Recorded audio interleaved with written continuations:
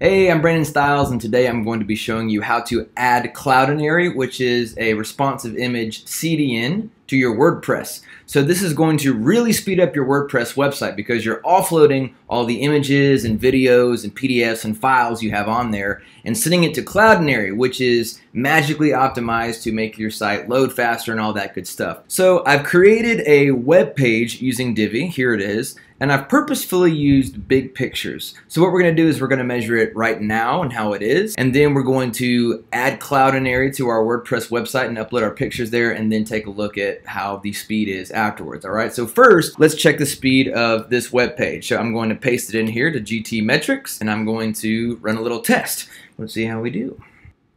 So here is our web page performance, FD, not looking really good. It's an 8 second load time and 11.3 megabyte page. That's really huge. Remember, we want to get that under 2 but maybe even one if we can to get it to load fast enough. And as you can see, the biggest problem here are these huge images. They are killing us. So let's take the images we have now and let's optimize this page using Cloudinary. And it's really easy, all right? So we're going to go to cloudinary.com and you're going to sign up for a free account. You get a thousand what's called transformations for a free account. Now, what is a transformation? A transformation counts as a few different things. One transformation equals one upload. So every time you upload a picture, that's a transformation.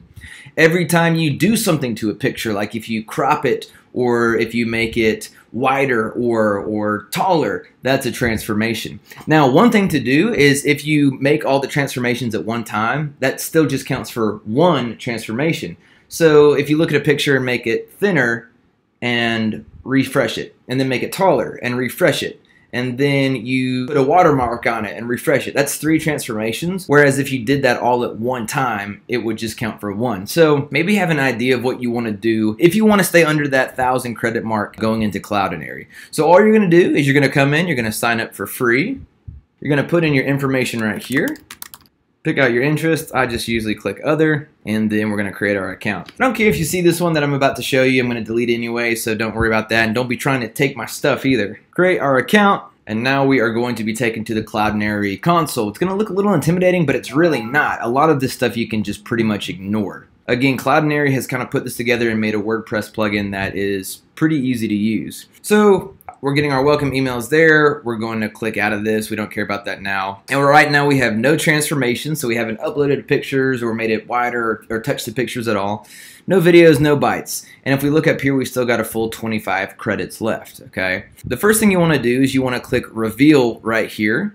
And this is going to give you your environment variable, which is essentially like your personal Cloudinary URL address, let's say. You're going to highlight all of that and you're going to come over to your WordPress install. So here we are. I'm going to go to plugins. We're going to add a new plugin, and we're going to look for just the run-of-the-mill Cloudinary plugin made by Cloudinary. Now, this kind of goes a little bit against what I uh, talk about, which is find a plugin with um, really high ratings. For some reason, this Cloudinary plugin only has three and a half stars, which is not great, but I haven't personally run into any problems with it. You don't have the full functionality of Cloudinary, but you still get like 99% functionality over what you normally have. So let's install this. Just takes a second and then we're going to activate it. Now we need to take the images we already have on our WordPress website and upload them to Cloudinary, which is actually super, super quick with this plugin. So now we need to put in that API key that we just copied. So come down here to Cloudinary, choose settings, and then just paste that guy in right there.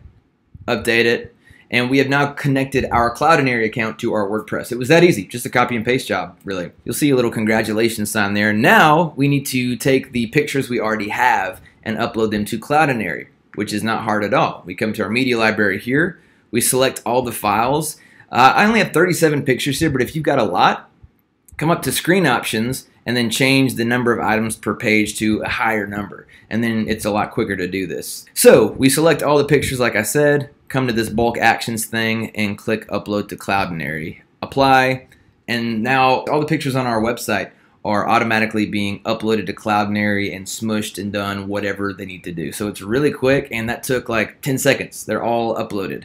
17 uploaded to Cloudinary, 20 failed because of the following. They were already uploaded 18 times. I don't know what happened there, but cool.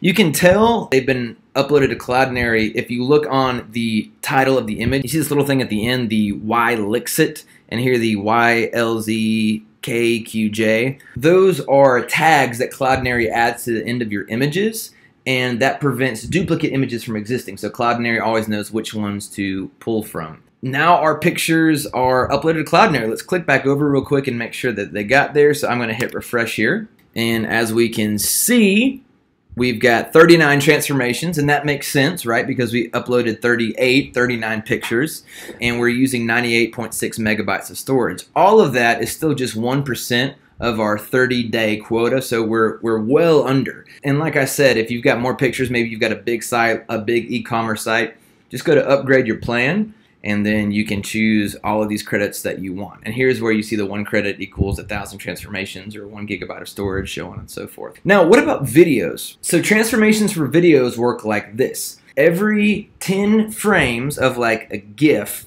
is going to be one credit, okay? So if your GIF is 30 frames long and you upload it to Cloudinary, that's gonna count as three credits. Now with videos, standard definition videos, every second counts as two transformations. So if you've got a 10 second standard definition video, that's going to be 20 credits.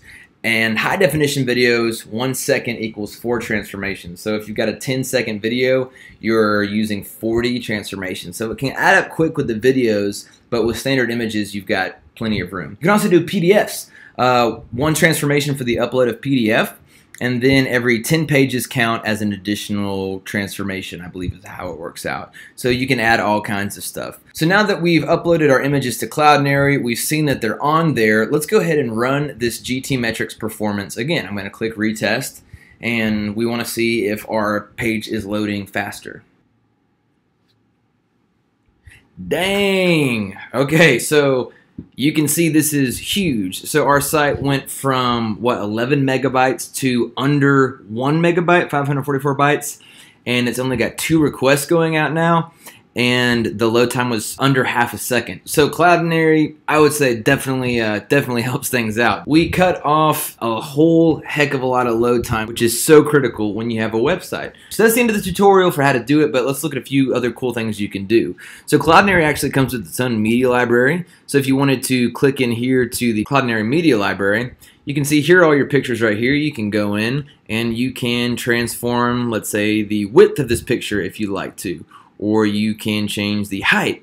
And notice when you do, over here it's changing this URL. So essentially what you're doing is to point to this new image. Cloudinary is just creating a different URL for this picture and it is serving it from there. So if I change the height to let's say 880, you can see down here it says H880, height 880. So it's just creating a new URL and directing it to that, which is really cool. You can also do stuff like Pixelz background removal, so you can actually add a subscription and Cloudinary will automatically remove the background to your image, which is cool for like product images. You can also opt for some more effects down here. You can change the opacity. You can zoom in if you want to. You can even change the effect. Maybe you want to do an artistic filter refresh the preview and Cloudinary will automatically adapt it and make it exactly how you want it. Obviously that looks weird because I just kind of mess with some stuff, but you get the idea. Also what's cool about the plugin is that as soon as you upload all your media library images to Cloudinary,